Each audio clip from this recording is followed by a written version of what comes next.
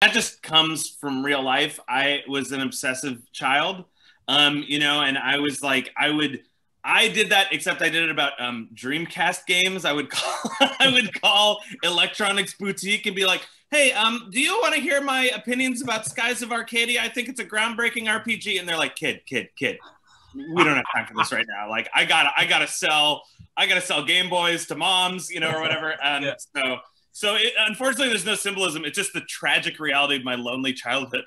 oh my god, that's amazing.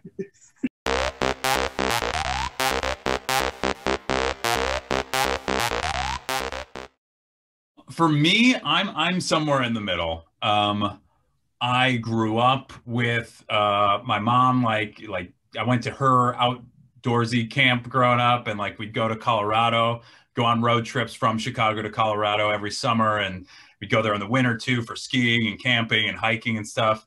So I love that. But you know, there's so there's so much creativity online, and like I came up through a sketch comedy group that uh, got our start on YouTube at a time when you know that's kind of in the past now. But then people were like, "What is this?" And now I feel the same way about TikTok and Instagram, and it's a lot. So I don't know. I think I'm I'm still trying looking for like balance in my life about like how to make it work for me because it's a little overwhelming.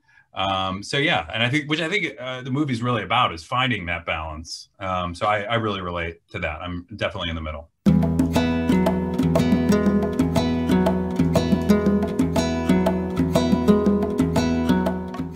I think it's difficult for the mother to lose focus in this story because she really acts as the glue for the family and she's sort of this love salve for the whole family. I think she wants everyone to be truly happy as who they are, but she also wants them to connect to each other. And she knows how difficult that is. So, um, you know, Linda's happy if everyone else is happy.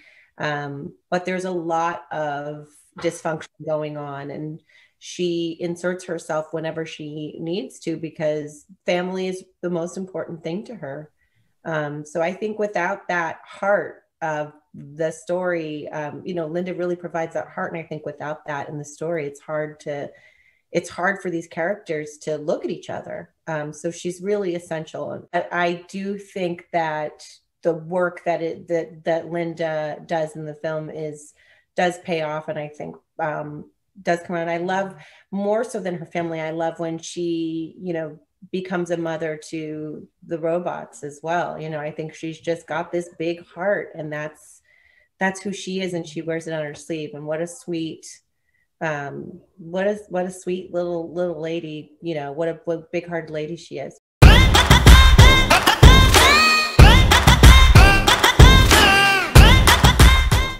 I was I was always drawing and, and like sort of in a sketchbook and very much living in in my head and creating other worlds because yeah I kind of didn't always feel like I fit in and it took me a while to find my people too and then on the flip side, I am not a parent, um, definitely not a dad, but I, there was a part of Rick's um, mentality that I really related to as well because the way how quick technology is changing. I, I can't keep up. You know, like I don't know all the, I'm not on like TikTok, I'm not on all these apps that the kids are are up to that I, I, I often don't know the latest thing and sort of feeling uh, a lot of what he's feeling like can't we just like do this thing? you know? Um so I, I kind of i feel yeah i just i love every character in this movie. I think they're all so relatable in a lot of different ways Uh, he really encouraged it. I mean, obviously the script was there. We got all the lines that were written, and I mean the script uh, really works. And again, it's like a great script that creates great improvisation. I think that like uh, creates so many ideas. It's such a clear. The joke of these robots trying to understand humanity and having the lack of intelligence, being so intelligent in one way and so unintelligent in another, is such a clear comedy dynamic. So it was so fun to improvise uh, in that. Um, yeah, it was great. Yeah, from from the his very first audition, he would just like because we had like a couple sides, you know, where it's like, oh, try saying this. Here's a couple lines that the robots might say, and it was so fun to see him just like run with it you know, where it's like after the end of the line, he did like eight other lines because it was like he was really picking up on, oh, this is what's funny about that character.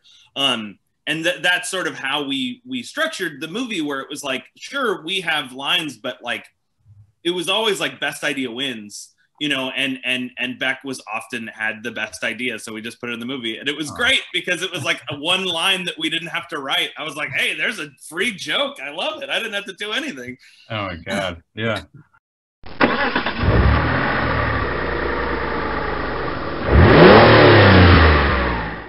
that my dad was always trying to teach me stuff and I was so I was such a brat about it. I was like, "Meow," like I'm playing Game Boy, um, you know. And he, he's like, you know, you should learn how to, uh, you know, change a tire. And I'm like, when would I ever need to know that? I'm here with Kirby playing Kirby's Dream Land, and I don't need any of that BS. But you know, it's like obviously it really is good to know how to change a tire or you know, uh, uh, or fix a fence or any of these things that sort of like he was trying to teach me. So it's sort of a stand in for all the things that your parents try to instill to you that you um, initially think uh, don't matter.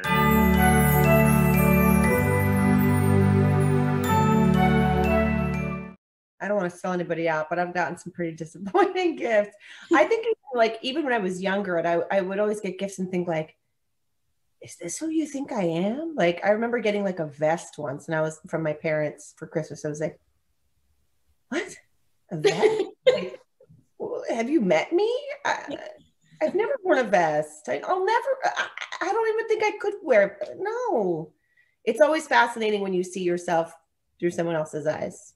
Um, and I also give practical gifts too. So I'm sure that's probably really disappointing. I like I like um I like stocking stuffers that you can use.